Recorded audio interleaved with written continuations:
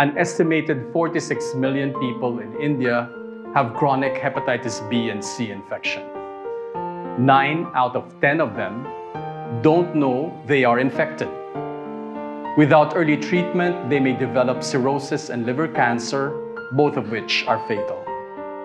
Hepatitis B can be prevented through vaccination and managed with medication and regular follow-ups. Hepatitis C can be cured with medicines taken for three months. The theme for World Hepatitis Day 2022 is bringing care closer. Hepatitis can't wait. We can't wait to act on viral hepatitis. Hepatitis B vaccination and testing and treatment of hepatitis B and C are provided free by the Government of India.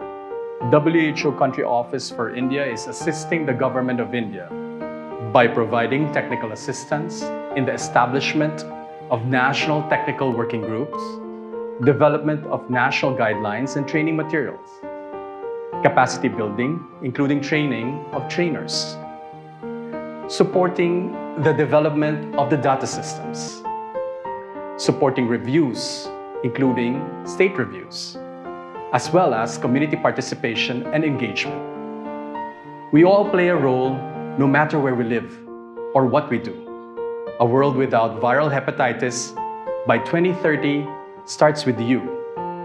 Know your hepatitis status. Talk to your doctor and get tested today. If you are infected, timely treatment can prevent cirrhosis and liver cancer. Get tested to protect yourself and the community.